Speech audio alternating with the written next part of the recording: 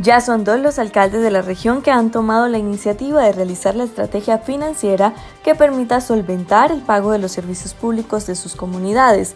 En primer lugar, el alcalde de la playa de Belén, y ahora Wilfredo Gelbes, mandatario local del municipio del Carmen, anunció que asumirá el 80% para el estrato 1 y el 50% para el estrato 2 del pago de los servicios públicos a sus habitantes.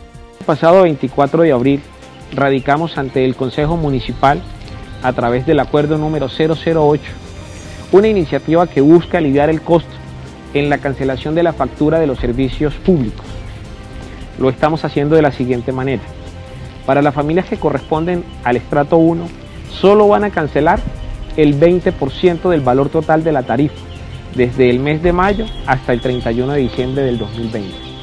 Para las familias que corresponden al estrato 2, van a cancelar solo el 50% del valor total de su tarifa, desde el mes de mayo hasta el 31 de diciembre de 2020.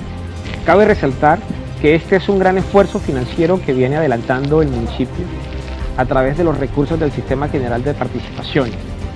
De esta manera, seguimos atendiendo a las familias más vulnerables de la región en el marco de la crisis generada por la pandemia COVID-19. Es esta una buena iniciativa que permite el beneficio de cientos de familias que comprenden estas dos localidades. Sin embargo, los habitantes del municipio de Ocaña continúan a la espera de estas estrategias por parte de la administración municipal.